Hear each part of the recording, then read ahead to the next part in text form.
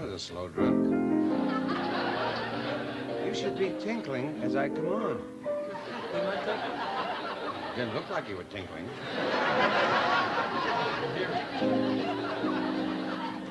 You don't have to answer me. It costs me $100 every time you talk. This my old pal, Ken Lane. And Ken is such a wonderful guy. Uh, like he's had uh, his three sisters living with him, you know, until last week when his wife found out he was only child. Only child, only child. When you look back on this moment 20 years from now, and you will, please be kind. Don't look.